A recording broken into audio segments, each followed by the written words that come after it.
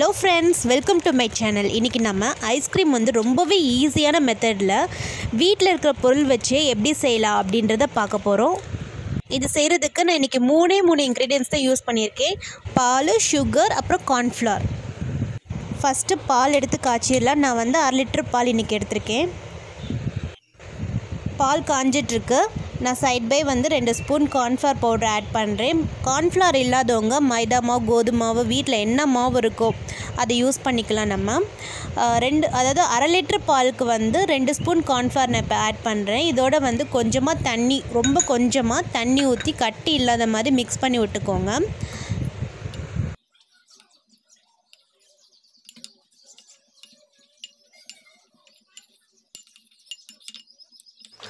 So இப்போ பார்த்தீங்கன்னா பால் வந்து நல்லா பொங்கி வருது காஞ்சிருச்சு. இப்போ இது கூட நம்ம கார்ன்ஃப்ளவர் பவுடரை வந்து மிக்ஸ் பண்ணி வச்சுருக்கோம் இல்லையா? இதோட ஆட் பண்ணிடலாம் இது ஊற்றுனதுமே அடுப்பை வந்து சிம்மில் வச்சுருங்க. சிம்மில் வச்சுட்டு நல்லா கிண்டி விட்டுட்டே இருங்க. ஏன்னா வந்து கார்ன்ஃப்ளவர் வந்து டக்குன்னு வந்து கட்டி ஆகிடும் ஸோ அதனால் கிண்டி விட்டுட்டே இருக்கணும். இதுக்கப்புறமா வந்து நம்ம சுகர் ஆட் பண்ணிடலாம். சுகர் வந்து நீங்கள் வந்து உங்கள் டேஸ்ட்டுக்கு ஏற்றப்பில் உங்களுக்கு எவ்வளோ இனிப்பு பிடிக்குமோ அந்த மாதிரி ஆட் பண்ணுங்கள் யூஸ்வலாக நீங்கள் சேர்க்குற அந்த சுகரோட லெவலை விட கொஞ்சம் அதிகமாகவே யூஸ் பண்ணுங்கள் ஏன்னா நம்ம ஃப்ரிட்ஜில் வச்சு எடுக்கும்போது சுகரோட லெவல் வந்து நம்மளுக்கு வந்து கம்மியாக தெரியும். ஸோ அதனால் நீங்கள் சுகர் வந்து கொஞ்சம் எக்ஸ்ட்ராவாகவே ஆட் பண்ணிக்கோங்க. நல்லா ஸ்பூனை வச்சு இப்படி கிண்டிகிட்டே இருங்க. இல்லாட்டி கட்டி ஆகிடும் நம்மளுக்கு வந்து பால் நல்லா திக்காக கிடைக்கணும். அந்த அளவுக்கு நம்ம பாலை கொதிக்க வைக்கலாம். ஐஸ்கிரீம் வந்து யூஸ்வலாக நார்மல் மில்கில் வந்து செய்கிறத விட ஃபுல் க்ரீம் மில்க்குன்னு கடையில் கேட்டு வாங்கினீங்கன்னா நல்லா திக்காக இருக்கும். நான் இன்றைக்கி வீட்டில் இந்த சாக்லேட் இருந்தனால வெனிலா எசன்ஸ்க்கு பதிலாக இந்த சாக்லேட் வந்து மில்க்கோட ஆட் பண்ணுறேன் உங்கள்கிட்ட வீட்டில் என்ன கிடைக்குதோ டைரி மில்க் இல்லைன்னா பூஸ்ட் போன்விட்டா இந்த மாதிரி எதுனாலும் ஆட் பண்ணலாம். அதுவும் இல்லையா வெனிலா எசன்ஸ்க்கு பதிலாக நீங்கள் ஏலக்காய் கூட போட்டு சூப்பராக ஐஸ்கிரீம் செய்யலாம். ஜஸ்ட் ஒரு ஃப்ளேவருக்காக தான் இதில் நம்ம ஆட் பண்ணுறோமே தவிர வேறு எதுவும் கிடையாது.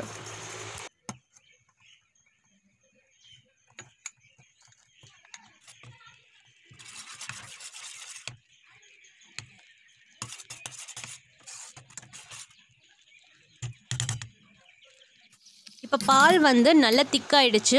இப்போ ஸ்டவ் ஆஃப் பண்ணிவிட்டு பாலை நல்லா ஆற வச்சுருவோம்.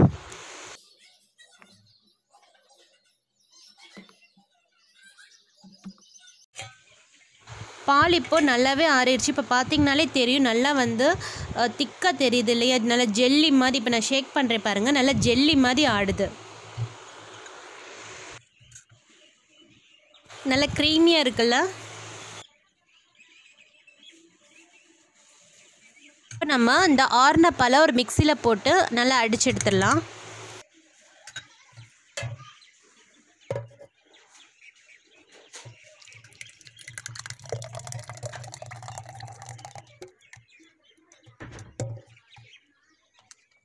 இப்போ பார்த்தீங்கன்னா மிக்சியில் நல்லா அடித்து எடுத்தாச்சு. இதை வந்து நம்ம ஒரு பவுலில் ஊற்றிடுவோம்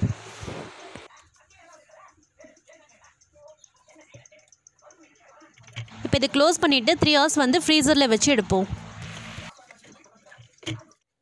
இப்போ பார்த்தீங்கன்னா நல்லா ஃப்ரீஸ் ஆகிருக்கு இதை வந்து நம்ம இந்த மிக்ஸி ஜாரில் ட்ரான்ஸ்ஃபர் பண்ணிக்கலாம். ஆக்சுவலி என்னாச்சுன்னா இது ரெக்கார்ட் பண்ணிகிட்டு இருக்கும்போது கேமரா ஆஃப் ஆனது கவனிக்கல. அதான் வந்து ட்ரான்ஸ்ஃபர் பண்ணதை வந்து உங்கள்கிட்ட காமிக்க முடியல. ஸோ இதை வந்து என்ன பண்ணுறேன்னா இது எல்லாத்தையும் அகெயின் வந்து ஜாரில் போட்டு நல்லா அடித்து எடுத்துருவோம்.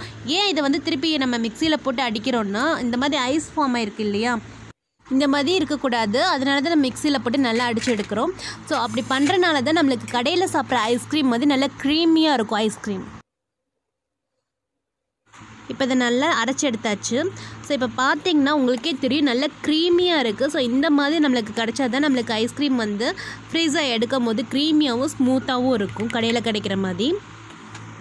இப்போ இது அகெயின் நம்ம சேம் எடுத்த பாத் பவுல்லே வந்து ட்ரான்ஸ்ஃபர் பண்ணிக்கலாம். நான் இப்போ இதை வந்து டேரெக்டாக ஃப்ரீசரில் வைக்க போகிறது கிடையாது. அதுக்கு முன்னாடி ஏதாவது பிளாஸ்டிக் ஷீட்டோ இல்லாட்டி அலுமினியம் ஃபாயில் ஷீட் இருந்தால் கூட இது மேலே வச்சுட்டு அதுக்கப்புறம் க்ளோஸ் பண்ணி ஃப்ரீசரில் வைக்கலாம். நான் ஏன் அப்படி சொல்கிறேன்னா இது நீங்கள் டேரெக்டாக ஃப்ரீசரில் வச்சிங்கன்னா உங்களுக்கு வந்து ஐஸ்கிரீம் மாதிரி க்ரீமியாக கிடைக்காம அங்கங்கே வந்து கிறிஸ்டல் ஃபார்ம் ஆயிடும். அதனால தான் நம்ம இப்படி கவர் பண்ணி வைக்கிறோம். நான் வந்து இன்றைக்கி பால் பேக்கெட் யூஸ் பண்ணுறேன் இது மேலே கவர் பண்ணிவிட்டு அதுக்கப்புறம் க்ளோஸ் பண்ணி ஃப்ரீசரில் சிக்ஸ் டு செவன் ஹவர்ஸ் வந்து மினிமம் வச்சு எடுத்துடலாம். இப்போ நல்லா ஃப்ரீஸ் ஆயிடுச்சு இப்போ ஓப்பன் பண்ணி பார்க்கலாம். உங்களுக்கு ஓப்பன் பண்ணி பார்க்கும்போது கிறிஸ்டல் அங்கங்கே திருப்பி வந்து ஃபார்ம் ஆகி இருந்துச்சுன்னா ஒன்றும் பயப்பட வேணாம். நீங்கள் வந்து திருப்பி வந்து மிக்சியில் போட்டு நல்லா அரைச்சிட்டு ஃப்ரிட்ஜில் ஃப்ரீசரில் வச்சு எடுத்துக்கோங்க. இதை நான் நல்லா உங்களுக்கு ப்ரெஸ் பண்ணி காமிக்கிறேன். எவ்வளோ சாஃப்டாக இருக்குன்னு பாருங்கள் இப்போ நம்மளுக்கு கரெக்டான கன்சிஸ்டன்சி கிடச்சிருச்சு. இப்போ வந்து இந்த கரண்டியை வச்சு நம்ம எடுத்தோம்னா வராது. ஏன்னா வந்து நல்லா ஃப்ரீஸ் ஆகிருக்கு ஸோ அதனால் நான் இந்த ஹாட் வாட்டரில் இந்த கரண்டியை வந்து நல்லா டிப் பண்ணிவிட்டு ஐஸ்கிரீம் எடுக்க போகிறேன்